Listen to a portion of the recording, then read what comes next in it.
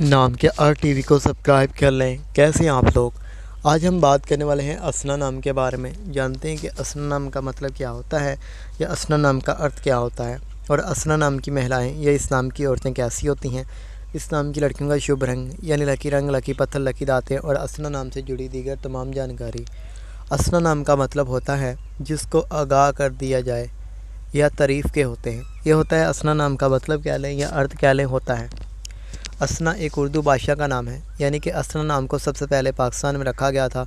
उसके बाद पूरी दुनिया में रखा जाने लगा। लड़कियों को दिया जाने वाला काफ़ी ज़्यादा सुंदर सा और प्यारा सा नाम होता है।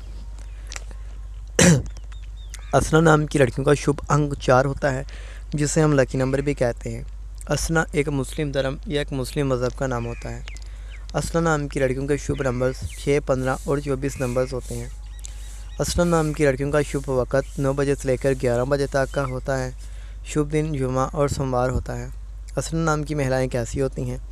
असना नाम की लड़कियाँ काफ़ी ज़्यादा सुंदर होती हैं और इस नाम की महिलाओं को लिखने पढ़ने का शौक़ और लगाव होता है।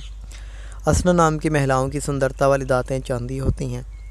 सुंदरता वाले रंग नीला और सब्ज़ रंग होता है। असना के लिए सुंदरता वाले पत्थर मरकत पत्थर होते हैं। तो असना नाम के आर टी को ज़रूर सब्सक्राइब कर लें।